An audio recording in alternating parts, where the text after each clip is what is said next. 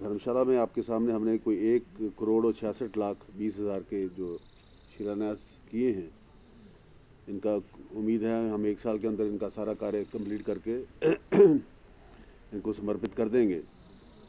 इसमें luxury tents हैं तीन नंबर, और इसमें एक टेंट जो हमें पंद्रह लाख के करीब पड़ रहा है।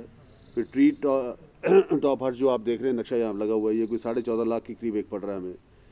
एक इसी में हम एक फॉरेस्ट हट जो है वो स्तोबरी में एक और बनाने जा रहे हैं जिसका हमें बीस लाख रुपया एक पूरे सेट का लगेगा।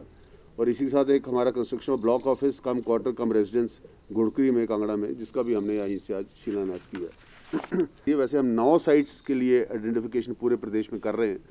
पर दो साइट्स जिनके ऊपर हमारा सारा सर्वे हमारा कंटूरिंग हमारा ऊपर से जो है ड्रोनिंग सारा उसकी मैप्स तैयार होकर जो प्रेजेंटेशन हमारी तैयार होकर भारत सरकार को हमने भेज दी वो फ़िलहाल हमने पराशर झील मंडी में और जोत चंबा में दो के ऊपर हमने ज़ेरोक्स करके जो है इसको अभी फाइनल करके हमने भेजा है। हमने सात साइट्स और आइडेंटिफाई के इस तरीके से हम पूरे प्रदेश का ये सर्वे जारी रख रहे हैं। इसी महीने के एंड तक या नवंबर के पंद्रह तक हम ये सारी नौ के नौ साइट्स आइडेंटिफाई करके इनको हम इनके ऊपर काम जो है इको टूरिज़्म का शुरू करने वाले हैं। मेरी आज दिल्ली में कुछ अधिकारियों से बात हुई है।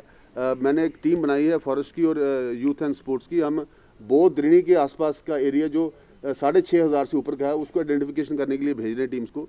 इस साइड भी हम करेरी साइड भी टीम्स भेज रहे हैं, जहाँ पे हमें फॉरेस्ट की कम से कम 25-30 हेक्टेयर जगह मिल जाए। तो हाई एल्टीट्यूड ट्रेनिंग सेंटर बना के, उसको हम इसी क्षेत्र के आसपास, क्योंकि air connectivity best Himachal Pradesh में गगल की ही है। सबसे बिजिएस्ट एयरपोर्ट आपका गगल का ही है। तो ये भी हमने एक प्रपोजल आज ही तैयार किया है और हमारी टीम्स परसों निकलेंगी। अगर हमें आइडेंटिफाइड करके अच्छा एक पच्चीस तीस हेक्टर का एक प्लेटफॉर्म मिल जाएगा तो हाई एल्टीट्यूड सेंटर जितने भी हमारे ओलंपिक्स के लिए एशियन गेम्स के लिए कॉमनवेल्थ के लिए, जो भी हमारी टीम्स बाहर जाती हैं, वो जहाँ भी हाई एल्टीट्यूड के इवेंट्स होते हैं, उनको एकोमोडाइज करने के लिए हमारे भारत सरकार, हमारे एथलीट्स को बहुत पैसे खर्च करके हम विदेश में भेजते हैं। हमने प्रपोजल भेजा भेजा है बना के भारत सरकार को कि आप बाहर मत भेजिएगा, उनको हिमाचल प्रदेश में भेजिएगा। तो हम एक, वहाँ पे भी एक प्रपोजल बनाएँगे। हम उसमें पक्का कंस्ट्रक्शन नहीं करेंगे। हम टेंटेड एकोमोडेशन के साथ ही एक ट्रेनिंग सेंटर शुरू करना चाहेंगे, जहाँ पे इसको बड़ा एक हाई एंड ट्रेनिंग सेंटर बनाना चाहेंगे, जहाँ पे प्रदेश के अंदर ही युवाओं को ताकि प्रदेश को रेवेन्यू भी मिले और प्रदेश को एक एक आइडेंटिफिकेशन मिले। बिल्कुल जी, हमने एक अपना जड़ी बूटी का अलग से विंग बना दिया है और हमने दो प्राइवेट लोगों को मंडी से हायर किया है। उनको हमने उस जो लोग पिछले पचास साल से ज़्यादा का जिनको एक्सपीरियंस है जड़ी बूटी का, उसको हमने बना के एक पूरा विंग बना दिया है और शिमला में जायका के थ्रू हमने इसका जो है अभी कार्यालय खोल दिया है और वहाँ पे रिटायर्ड हमारे एक बड़े सीनियर सीसीएफ लेवल के ऑफिसर उसको हेड कर रहे हैं।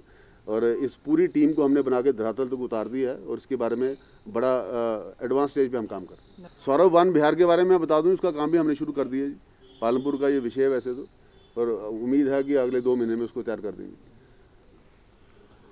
देखिए हॉस्टल की प्रपोजल्स दो हैं हमारे पास, एक साई से भी है और एक स्पोर्ट्स डिपार्टमेंट से भी है। इसके बारे में भी जल्द निर्णय, दो इवेंट्स हमने अभी नए आइडेंटिफाई धर्मशाला के लिए किए हैं। अगले महीने में एक 18 करोड़ रुपए का excellence centre of excellence for shooting वो धर्मशाला को दे रहा हूँ और उसका शिलान्यास हम आदरणीय मुख्यमंत्री जी से वर्चुअली कराएँगे। मैं यहाँ पे और विधायक जी मौके पर प्रेजेंट रहेंगे। और हमारी बात बैडमिंटन इंटरनेशनल फेम की जो सानिया महिवाल हैं उनके साथ हमारी फाइनल स्टेज पे बातचीत चल रही है। हमारा शायद एमओयू बहुत जल्द उनके साथ साइन हो जाए। तो धर्मशाला में एक बैडमिंटन की इंटरनेशनल एकेडमी के लिए हम बिल्कुल लास्ट स्टेज के ऊपर हैं। उसको भी हम बहुत जल्द फाइनल करके उसका एमओयू साइन करेंगे ताकि धर्मशाला में एक इंटरनेशनल एकेडमी फॉर बैडमिंटन वो भी यहाँ पे आ जाए। एक प्रपोजल हमने धर्मशाला के लिए through urban development department UD के थ्रू हमने भेजा है for ice skating indoor ice skating जहाँ पे ऑटोमेटिकली 12 महीने बर्फ़ हम खुद बना के उसमें आइस स्केटिंग करेंगे तो टूरिज़्म के लिए एक डेस्टिनेशन और बहुत बढ़िया वो बन जाएगा।